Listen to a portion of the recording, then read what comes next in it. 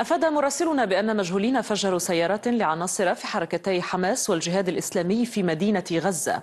التفجيرات كانت متزامنة وتمت بواسطة عبوات ناسفة وفق روايات الشهود. وقد استهدفت ثلاث سيارات تعود لأعضاء في كتائب القسام الجناح المسلح لحماس وسيارتين لعضوين من سرايا القدس الجناح المسلح للجهاد الإسلامي مما أدى لاحتراقها دون وقوع إصابات.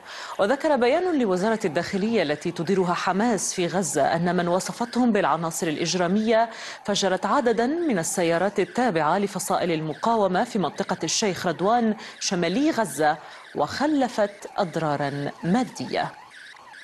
التفجيرات التي وقعت صباح اليوم في منطقة الشيخ رضوان واستهدفت عدد من سيارات تتبع لفصائل المقاومة الأجهزة الأمنية فور وقوع هذه التفجيرات باشرت التحقيق في الحادث. وهذه التفجيرات يقف خلفها عناصر مشبوهة تعمل على زعزعة الأمن هنا في قطاع غزة.